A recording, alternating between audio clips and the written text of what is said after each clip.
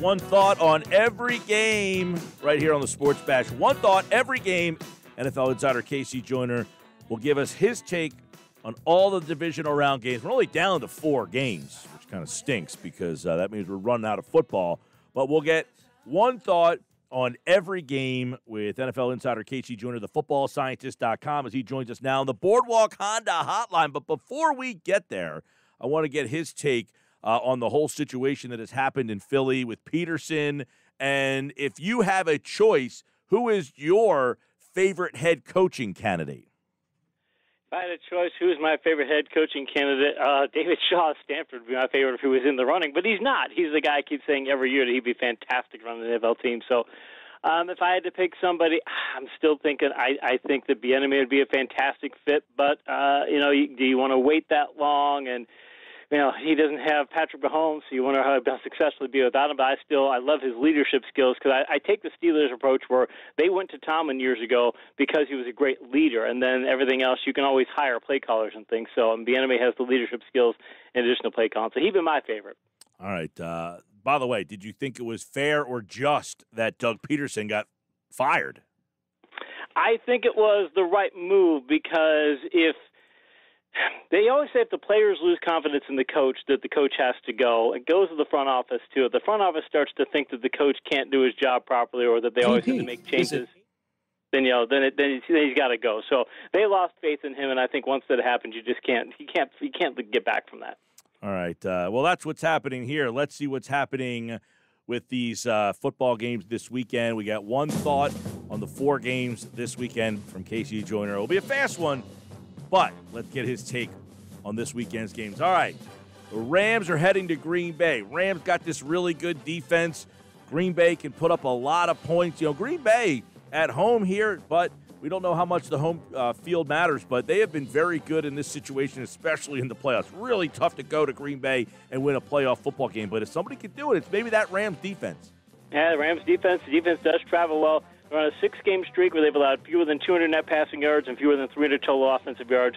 They've racked up 100-plus rushing yards in all but two contests this season. Plus, they had zero giveaways last week. Amazing! It's the first time this year that LA had zero giveaways in a contest. Problem for them is Green Bay scores a ton, and the Packers have also held four of their last five foes to 16 or fewer points, so their defense is playing better. I like the Pack. All right, uh, let's go to the late game all on Saturday. All games on 97.3 ESPN. Of course, you can hear all four. Baltimore, Buffalo. Buffalo's defense suspect. Baltimore really turned it up. Finally, last week was the first time they really uh, looked like they dominated a game in a while. And then, of course, Buffalo, they've been scoring at will. But when you look at who they've been scoring on, they haven't really faced the doomsday defense here. So, Baltimore at Buffalo. Yeah, and Buffalo also, their rush defense, I worry about it. They've held four of their last seven opponents to under 90 rushing yards. They give up 163 to the Colts, 140 to Denver in Week 15, 145 to New England in Week 16. And Baltimore has rushed for 230 yards in five of the past six games. In the game they didn't rush for 230, they rushed for only 159. I mean, they've only turned the ball over two or more times, three times this season. Their, their rush defense is playing great. I think Baltimore's got a very good chance.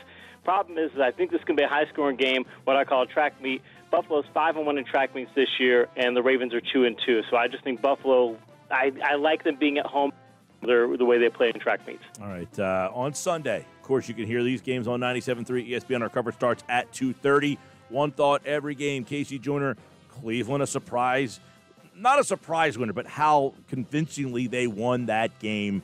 They're up big. They hold on. They pull away. Kansas City, we know here in Philly, Andy Reid off the bye ain't losing this game. yeah, Andy Reid off the bye. Also, uh, the Chiefs are going back to the approach they took late last year. Last ten games of last season, they basically went to a run-heavy approach, run you know, run the ball well, and then go vertical as counterpunching. They didn't go to a pass-first offense. It was key to them winning a Super Bowl. They've been doing that the last four of the last five games this year. In the last four games, be, be take out the Week 17 game, they rushed for 524 yards. They posted fewer than 280 passing yards of those games. I think they're going to be run heavy. The Browns did two Jekyll and Hyde. They got 32 or more points in eight games this year, but they tallied 16 or fewer points in five contests. And I just think that uh, Kansas City is going to be able to uh, you know, they could win either kind of match. If it's low scoring, they've got more firepower, and if it's high scoring, they can win a shootout. Can they stop the run though? If Cleveland dedicates to the run, how does Kansas City match up there? That is the one place where I think that uh, Kansas City would have problems because they, their run defense isn't good. Their red zone defense is terrible. So that's why they have to go to the run game to protect their defense more. And, and I think that if if Kansas, if the Browns can rush for 150, I give them a 50-50 shot at winning the game. I'm not sure that they can just because Kansas City is going to hold the ball. All right, let's go to uh, the Sunday night game. It is Tampa Bay at New Orleans. This one's interesting. I mean, Tampa lost both games. The last time they lost 38 to 3. Um, you would think, all right, New Orleans has their number. Line doesn't say so. It says it's going to be a close game, but do you see a close game this time around? I think it's definitely this is the pick'em game of, of the entire weekend. If you had to say what's the a true toss-up game, I think this is the closest to it.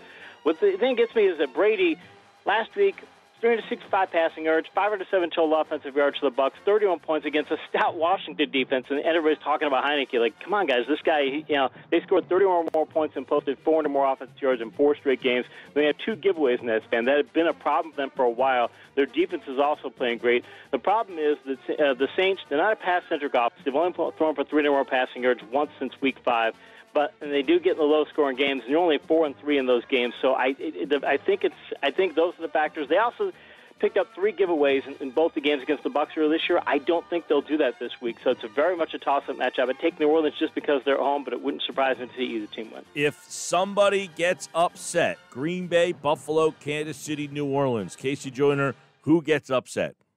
Uh, I would say the Buffalo gets upset because Baltimore if they get that ground game going, again, 230 more yards in five of the past six games, if they put up that kind of number against Buffalo's rush defense, that's not good for Buffalo. And Buffalo found out earlier this year too that it's again it's hard even if you're a great offense to win shootout games, and they and Baltimore is perfectly capable of getting into that. Even though Buffalo's five and one, that could be an anomaly for them. All right, KC Joyner with one thought on every game. He'll be back on Monday to break back down these games. We'll be talking about the championship round of the NFL. Many people didn't think it would ever get here, but they're getting there. And these four games this weekend, you can hear all right here on 97.3 ESPN. And KC Joyner, like all guests, appeared via the Boardwalk Honda hotline. All right, KC, appreciate it, man. Hey, thanks, Mike.